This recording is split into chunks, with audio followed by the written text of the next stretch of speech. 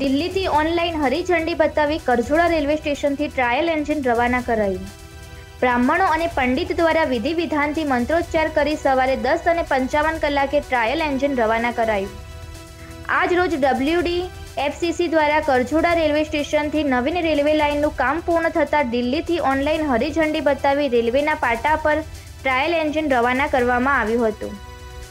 જેમાં પંડિતો દ્વારા વિધિ વિધાનથી મંત્રોચ્ચાર કરી સવારે દસ અને પંચાવન કલાકે દિલ્હીથી પ્રબંધ નિદેશક અનુરાગ સચાન દ્વારા ઓનલાઈન હરીઝંડી બતાવી ટ્રાયલ એન્જિન રવાના કરાયું હતું.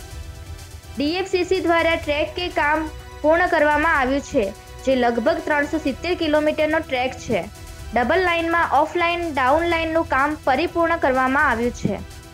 આ કામ બહુ જ કઠિન અને જટિલ કામ હતું. વચ્ચે બાલારામ નદી પર આવેલ રેલવે બ્રિજ જે છવ્વીસ મીટરની ઊંચાઈ પર છે, જેમાં એકસો પાસઠ મીટર ન્યૂ ટ્રોફ વોલનું મોટું કામ હતું. આઠસો સિત્તેર મીટર ડીઆરએસનું કામ જે પરિપૂર્ણ થયું છે. આ કાર્ય દરમિયાન જનતાને મુશ્કેલીનો સામનો કરવો પડ્યો છે.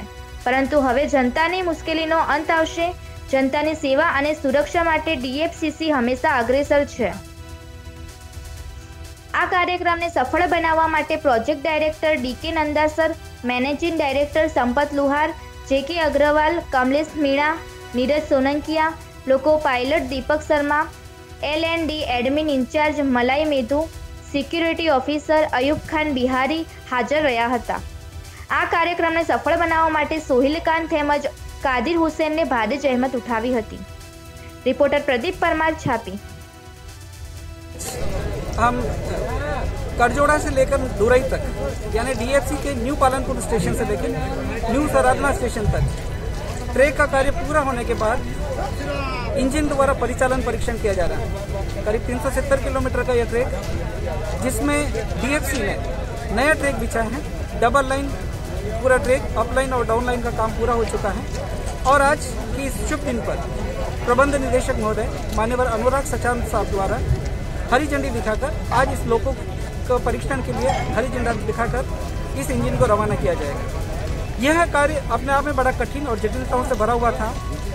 यहाँ पर बालाराम ब्रिज है, जिसकी ऊंचाई करीब 26 मीटर और जिसमें करीब एक सौ पैंसठ मीटर का यू ट्रफ वाल का बड़ा एक काम था। करीब 870 मीटर से लंबा ईआरएस का वर्क था और केवल पालनपुर और इकबालगढ़ के बीच में ही पाँच लाख से अधिक क्यूबिक मीटर का अर्थवर्क का काम था। इतना कठिन कार्य सभी के प्रयासों से सफलतापूर्वक पूरा हुआ और आज इसका परीक्षण किया जा रहा है। धन्यवाद। आपका नाम सर? मेरा संपत लोहार मैं उप मुख्य परियोजना प्रबंधक अहमदाबाद डीएफसी का।